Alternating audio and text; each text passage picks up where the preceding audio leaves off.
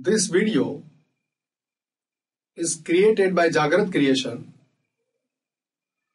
It is on single entry conversion method, hence useful to the students who are reading for CA Intermediate, ICWAI Executive, CS Executive, BCom, CA IPCC. I want to solve one sum on single entry conversion method. Just observe the sum on the screen. This is the sum that I intend to solve. Sri Nadan keeps his accounts according to single entry system.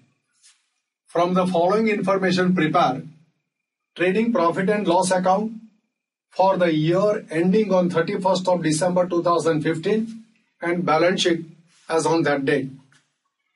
Machinery, furniture, debtors, cash, stock, capital, creditors, bills payable, bills receivable. These are the opening balance, but bills receivable opening balance is missing. These are the closing balances. Here you are given the machinery, furniture, cash, stock, and capital. Closing balances are missing that we are required to find out by preparing all these accounts. Cash received from debtors, including bad debt, returned 40,000. So total amount received 2 lakh 40,000. Out of that, bad debt recovery is 40,000. So amount collected from debtors is 2 lakhs received from sale of machinery 24,000 on 30th June 2015 book value of the machinery was 30,000 furniture purchased on 1 7 2015 received from bills receivable. Administrative expenses purchases sales paid to creditors. Bills payable paid drawings at the rate of rupees 5000 on the first day of every month. 10% loan given to Mrs. Naden on 1 10 2015 Additional information, discount allowed, discount received, purchase return, sales return, bills receivable dishonored total, bills payable dishonored, bills receivable endorsed to creditors. Out of this, bills of 4000 were dishonored. Adjustment, rate of gross profit 30% on sales, calculate 10% interest on drawings, calculate 10% depreciation on machine and 5% depreciation on furniture, provide 10% for bad debt reserve.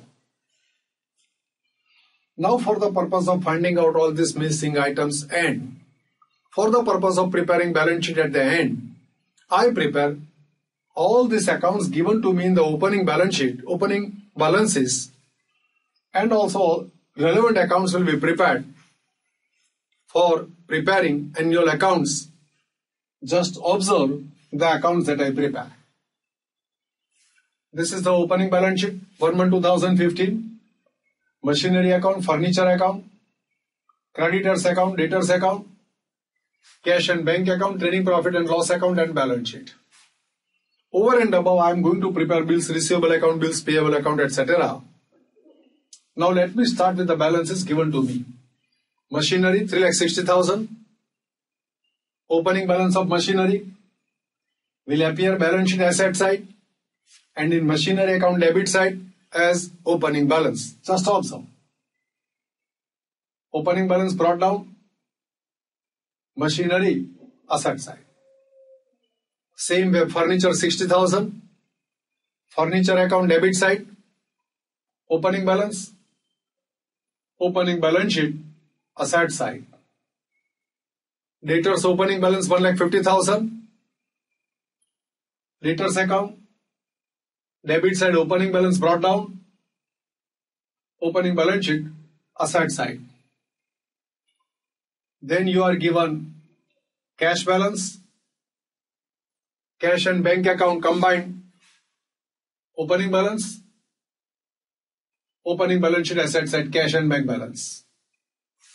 Stock, that's an opening stock that will appear in trading account debit side and opening balance sheet asset side.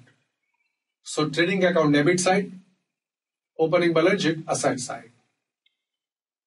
Capital 6x that will go to the opening balance sheet liability side and in capital account on credit side I will write opening balance.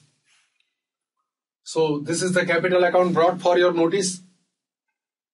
On the credit side opening balance, opening balance sheet liability side. This is how capital balance is recorded. Now I want to take care of creditors balance. 1 lakh 80,000. Creditors account credit side opening balance. Opening balance sheet liability side. Creditors 1 lakh 80,000. Same way bills payable. Opening balance sheet liability side. Here you don't find bills payable account, so I will bring bill, bills payable account. On credit side, I will write down opening balance brought down. Opening balance sheet liability side. Bills receivable is a missing information. Opening balance of bills receivable is not given to you. But I just write with question mark in bills receivable account opening balance question mark that I don't know, I'll find out. And in the balance sheet assets and also this is the missing information that I'm going to find out. So this is how I write. Machinery closing balance, not given. I'll find out from machinery account. And this balance that I'll find out that will appear on the balance sheet asset side. Same way, closing balance of furniture is not given. So here furniture account closing balance I am required to find out. And the same missing information once I find out here, I will record on the balance sheet asset side. So these are the missing information. This is how I write so that I may not forget to find out these missing numbers. Debtors closing balance, credit side and closing balance sheet asset side. Inner column because I am required to provide for bad debt reserve. After that cash balance is given to you. How much is the cash balance? It's a missing information. So, debtors are recorded cash balance, missing information. So that closing cash balance I'm required to find out by closing cash and bank account and the information that I may trace that will be recorded on the balance sheet asset side. Here, cash balance I will find out and record. Then after cash balance I am given missing information about closing stock. Remember in a sum, whenever you are given a percentage of gross profit, any of the stock, opening or closing stock, may be the missing item. In this sum also, in additional information, you are given the percentage of gross profit and henceforth it is quite obvious that closing stock is missing. So closing stock will appear on the trading account credit side and it will appear on the balance sheet asset side, but we don't know the value. So I will write down the question mark for that and in the asset side also, I am going to find out this number and record as and when I'll receive or as and when I'll trace it. After this closing stock, next is capital closing balance. That also I'm required to find out by closing capital account. So in capital account and debit side, I'll write down the closing balance. There's a missing information that I'll find out. And after finding it out, I will record in the balance sheet in this fashion. Then comes creditors closing balance. Creditors closing balance will appear balance sheet liability side and in creditors account it will be recorded on the debit side. So this is the closing balance of creditors. It appears on the balance sheet liability side. Bills payable, same way bills payable account debit side, closing balance, balance carried down, balance sheet liability side, bills payable. Bills receivable closing balance 1 lakh 26,000. In bills receivable account credit side and balance sheet asset side bills receivable 1,26,000. This is how given opening balances are recorded as they are given and the for missing items I have keep fillers by keeping question mark as and when it is to be recorded. Now, after recording these things, next transactions given to me, I just consider one by one. Cash received from debtors to like 40,000 that includes bad debt recovery 40,000. Bad debt recovery is an income 40,000 that should be credited to profit and loss account. So journal entry for bad debt recover, recover is cash account debit to bad debt recover or cash account debit to profit and loss account credit because bad debt recovery is transferred to the credit side of profit and loss account being income. And the amount received from debtors 2 lakhs that will be cash account will be debited and debtors account gets credited. Now notice it. I prepare a working note for that. bad debt recovered. So received from debtors, cash account debit to debtors account credit, cash account debit to bad debt recovered, credited to profit and loss account. This is how this first transaction is considered. Now received on sale of machinery 24,000. On 30th June 2015, book value of the machinery is 30,000. Book value of machinery given to you as on 30th June 2015, that doesn't mean that this book value is given after depreciation because depreciation is provided at the end of the year. So this is the value of machinery that has been sold during the year. So this value is the opening balance.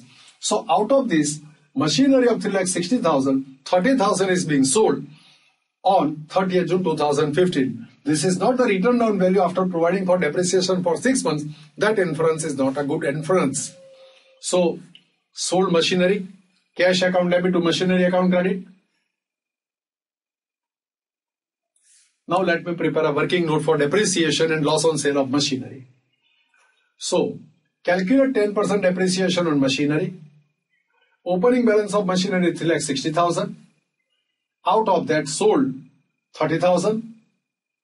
The book value of machinery sold is 30,000. Now you are required to provide depreciation for 6 months on the sold machinery's book value. So 30,000 into 10% for 6 months, 1500 is the depreciation. So the written down value on the date of sale is 28,500. Sales proceeds are 24,000. So loss on sale of machinery is 4,500. Now out of this, this 3 lakh 60,000, 30,000 is the book value of machinery sold. So the book value of machinery at the end of the year before depreciation is 3 lakh 30,000 on which if you provide depreciation at the rate of 10%, 33,000 is the depreciation. So what is the total depreciation during the year?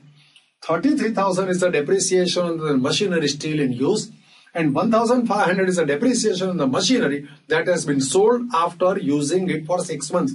So total depreciation to be debited to profit and loss account will be 33,000 plus 1,500, 30 4,500. For that, entry will be profit and loss account debit to machinery account credit. So profit and loss account is debited with 34,500. Machinery account is credited with the depreciation 34,500. Now this is how depreciation is recorded. Now this loss on sale of machinery will be debited to profit and loss account and machinery account is to be credited for that. So loss on sale of machinery debited to profit and loss account and machinery account is credited. After that, if you find the balance, the balance should be 2,97,000. So 2,97,000 is the closing balance, missing item that we have found out. If you make a total of debit and credit, it should agree. And this missing item that we find out, 2,97,000, that will appear on the balance sheet assets. And look at the missing number that I have already pointed over here. So machinery will be recorded at 2,97,000 in the balance sheet after depreciation. This is how machinery account gets closed. So machinery transaction is being done. This is an important note that students should remember. Now next, furniture purchased on 1-7-2015.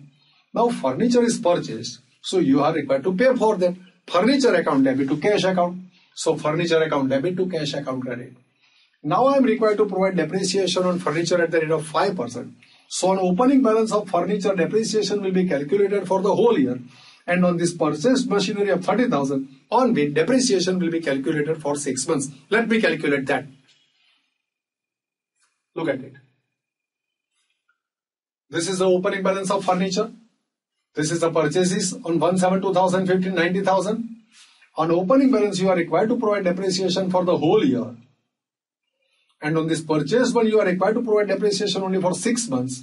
So 3750 is the total depreciation debited to profit and loss account and credited to furniture account. And if you strike the closing balance, it should be 86,250 or write 86,250 closing balance on the asset side also. So this is how the missing missing closing balance of furniture is found out and recorded on the balance sheet asset side. This is how my furniture account gets closed. Total of both the side is 90,000. This is how received on sale of machinery and furniture purchase is being accounted for and two accounts are closed. furniture account and machinery account, closing balance is found out, that closing balance is disclosed on the face of the balance sheet at the end. Now next transactions. The next transactions received from bills receivable. Cash account debit to bills receivable account credit. So cash account is debited, bills receivable account is credited. Administrative expenses paid 1 lakh 2300. Expenses are debited to profit and loss account. So profit and loss account is debited and cash account is credited because payment is being made. So profit and loss account debit, cash and bank account credit. Cash purchase is 90,000. You have to make a payment so cash and bank account gets credited. Cash purchases will be debited to trading account. So trading account is debited, cash and bank account is credited. Cash sales, cash is received, debit what comes in, cash account debit. Two, sales will be recorded to the credit side of trading account, cash sales 3 lakh 30,000. Paid to creditors, 2 lakh 10,000. Creditors are the receiver, debit the receiver, creditors account debit, cash goes out, cash account is to be credited.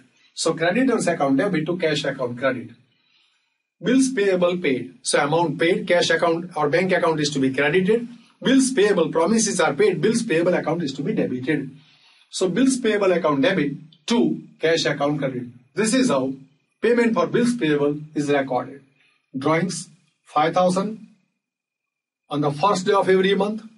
So 12 5 or 60,000 is the drawings. For drawings, capital account is debited and cash account is to be credited. So here I prepare capital, here I have prepared capital account. So capital account is debited with 60,000 and cash account is to be credited with 60,000. Now in the additional information you are told that you are required to calculate depreciation on drawing, interest on drawings, I'm sorry. Interest on drawings is to be calculated and the drawings are made at the rate of 5,000 at the beginning of every month. So you know that you are required to calculate interest for 6.5 months. Let me calculate interest for that. Calculate 10% interest on drawings. So, you have studied these things. If the amount is drawn at the beginning of every month, the interest on drawing is to be calculated for 6.5 months. So 60,000 into 10% into 6.5 divided by 12. So this is the interest on drawings. If the same amount is drawn at the beginning of every month, interest on drawing is calculated for 6.5 months on the total amount. So this is the interest on drawings. Interest on drawings is an income credited to profit and loss account, debited to capital account. So capital account is debited, interest on drawings is credited to profit and loss account. Now, 10% loan given to Mrs. Lathan on 1 10 2015. So you are required to calculate interest on 1 lakh from 110 means October, November, December, three months interest will be calculated. This loan is given, cash goes out. So loan given will appear on the balance sheet asset side and it will appear on the credit side of cash account. Loan given, cash goes out. Loan to Mrs. Nada. So now 10% interest you have to calculate for three months. This is an income. Loan is given, so interest is our income.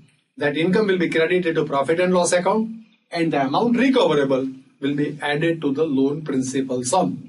So 1 lakh into 10% into 3 by 12, 2500 added to the principal sum. So total amount due on loan given granted 1 lakh 2500 and this interest income will appear on the credit side of profit and loss account. This is how this transaction and the relevant adjustments are also considered. Now next. Here you are given additional information discount allowed. Discount allowed is an expense. Expenses are debited to profit and loss account. Discount allowed is discount is allowed to the debtors. When discount is allowed? When the discount is allowed, when we collect money from the customers. So discount allowed will be credited to debtors account.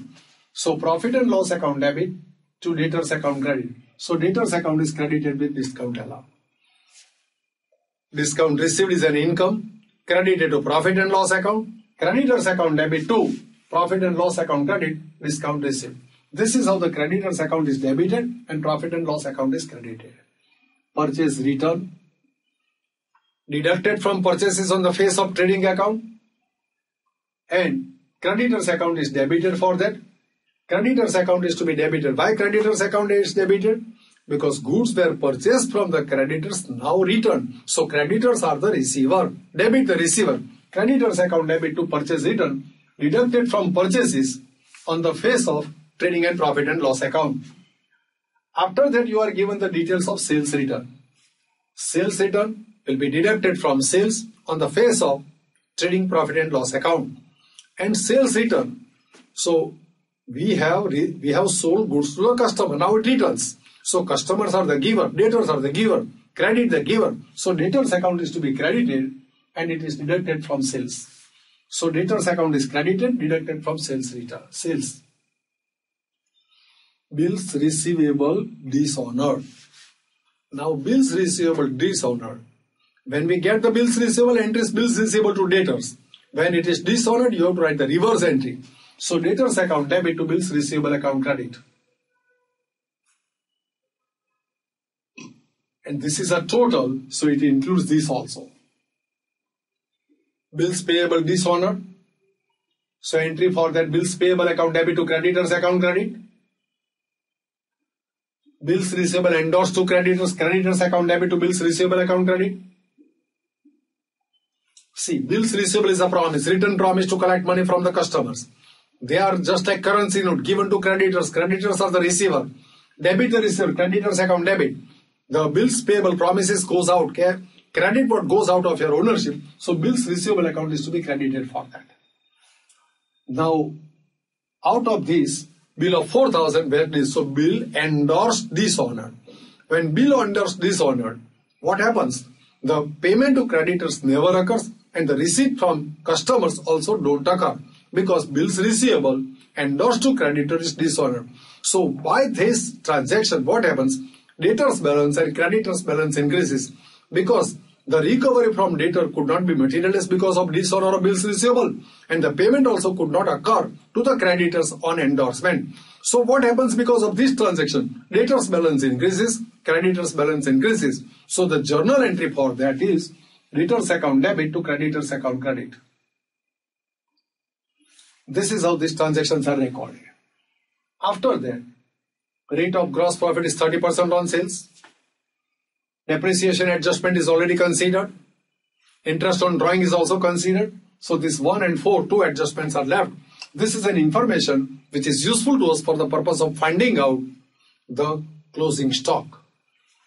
Now, here look at the trading account. I want to find out closing stock. Do I have the total sales details to which I can apply 30% profit? I'm given cash sales and sales return. I don't have the details of credit sales. So I'm required to close this debtors account and find the credit sale. This credit sale will be recorded here. So I will get the total sales. On the total sales, I'll find out gross profit by applying 30% to the net sales and that gross profit will be recorded in trading account. But first I'm required to find out the date, date credit sales. And how to find out credit sales? For the purpose of finding out credit sales, I'm required to close debtors account. Now in debtors account, if you look at it, opening balance, closing balance, credit sale is missing. But the bills received during the year, bills receivable, drawn and accepted by the debtors, that information is missing. So we are required to close first of all bills receivable account. So if we close bills receivable account, then we find then we shall get the number of bills receivable received from debtors. That will be credited here. Then we can find out the credit sales. If you look at the bills receivable account, can you find out the bills receivable received from debtors? No, because the opening balance is missing. So in bills receivable account, two things are missing. Opening balance is missing and the bills receivable received. So I cannot close bills receivable account. Notice very important point. I am unable to close trading account because I don't have credit sales and credit purchases. I want to, I can find out credit sales by closing debtors account. I am unable to close debtors account because I don't have the information of bills receivable received during the year. If I look at the bills receivable account, I am unable to close bills receivable account because I don't have the opening balance. Now look at this balance sheet total of liability side. Here bills receivable is the only missing item. So this total is recorded here and from that 30,000, 1 lakh 50,000, 2 lakh 10,000, 60,000, 3 lakh 60,000 is deducted. I'll get the missing figure of opening balance of bills receivable. That will go to bills receivable account. Now I'll close bills receivable account. Total of credit minus total of debit. This is known as bills receivable received during the year. So bills receivable account debit to debtors account credit. So debtors account is credited. Now I can close this debtors account and find the credit sales. And that credit sales will go to the trading account credit side. Now I get the net sales 3 30 plus credit sales minus sales return. This is the credit sales. This is the total net sales I got. To that I can apply 30% rate of profit. Here I am not even also given the credit purchases. So I can find out the gross profit net sales into 30% gross profit. Trading account debit profit and loss account is to be credited for that. Now I am required to find out the credit purchase and closing stock. Two things are missing. So when two things are missing, I cannot close trading account and find one because two things are missing. So now I am required to find out the credit purchases by closing creditors account. If you look at the creditor's account, opening balance, closing balance is given. Credit purchase details are not there. Similarly, bills payable accepted during the year is also not there. So first I am required to close bills payable account. First I am required to close what? Bills payable account. And by closing bills payable account, then I can close creditors account and I can find out the credit purchase. That credit purchase will be transferred to the debit side of trading account. But before that, as I have found out the close, I'm required to provide for bad debt reserve 10%. So debtors, like 39,000 into 10%, profit and loss account debit and deducted from debtors. See, I have considered this adjustment first because I want to just do away with this note. So 33,000 bad debt reserve is deducted and debited to profit and loss account. Now I have to close creditors account and bills payable account. This is my bills payable account opening and closing balance are there. This is the payment made for bills receivable. So total of debit minus credit, I will get the bills payable accepted by me, drawn by creditors. So creditors account debit to bills payable account credit. Now I can close creditors account. So total of debit minus credit, the credit purchases. That is debited to trading account. Cash purchase, credit purchase minus purchase and net purchase now I can close this cash and bank account. See, everything is closed now. Only thing, only account left is cash and bank account. I can find out the closing balance, total of debit minus total of credit. So this is the closing cash balance that I work out. Then I write on the balance sheet asset side. Now I can close this trading account and find the closing stock. So total of debit side minus 8 lakh 66,000. So closing stock is 36,450. Here I have recorded closing stock 36,000. 450. Now I can find out the net profit. Net profit will be transferred to capital account that I already prepared. So total of credit minus total of debit, this is a net profit. Net profit is credited to capital account. Profit and loss account debit to capital account credit. Now I can find out the closing balance of capital account. That will go to the balance sheet liability side. This is how capital balance is found out and recorded now every missing information is found out. Now I can go for telling the balance sheet. So total of asset side and liability side I have to make. So total of liability and total of assets that comes to 10 lakhs. You can total it and confirm it. This is how balance sheet total agrees.